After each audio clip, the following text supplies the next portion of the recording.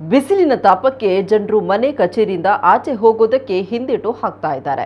ಆದರೆ ಅನಿವಾರ್ಯವಾಗಿ ಜನರು ತಮ್ಮ ಕೆಲಸಕ್ಕೆ ಬಿಸಿಲಿನಲ್ಲಿ ತಿರುಗಾಡಲೇಬೇಕಾಗತ್ತೆ.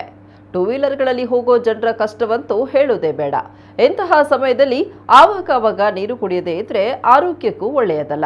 ಜನರ ಇಂತಹ ಸಮಸ್ಯೆಯನ್ನ ಮನಗಂಡ ಪೆಟ್ರೋಲ್ ಪಂಪ್ ಮಾಲೀಕರೊಬ್ಬರು ಪೆಟ್ರೋಲ್ ಹಾಕಿಸಲು ಬರೋ ಜನರಿಗೆ ಉಚಿತ ಮಜ್ಜಿಗೆ ವಿತರಣೆ ಮಾಡ್ತಾ ಇದ್ದಾರೆ.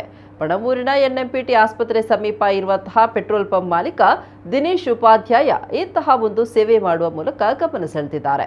ಕಳೆದ ಆರು ವರ್ಷಗಳಿಂದ ನಿರಂತರವಾಗಿ ಈ ರೀತಿಯ ಜನಸೇವೆಯನ್ನು ಅವರು ಮಾಡಿಕೊಂಡು ಬಂದಿದ್ದಾರೆ.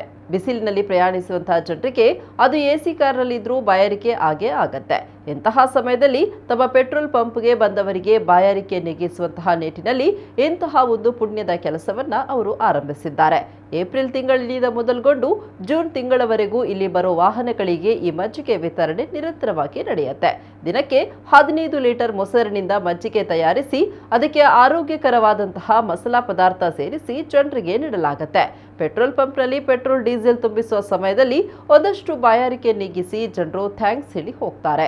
ಇದೇ ಸಂತೋಷದ ಕೆಲಸ ಅಂತಾರೆ ಪೆಟ್ರೋಲ್ ಪಂಪ್ ಮಾಲೀಕ ದಿನೇಶ್ ಉಪಾಧ್ಯಾಯ. ದಿನೇಶ್ ಉಪಾಧ್ಯಾಯರಿಗೆ ಅವರ ಸಿಬ್ಬಂದಿ ವರ್ಗ ಕೂಡ ಸಾಥ್ ನೀಡ್ತಾ ಇದ್ದಾರೆ.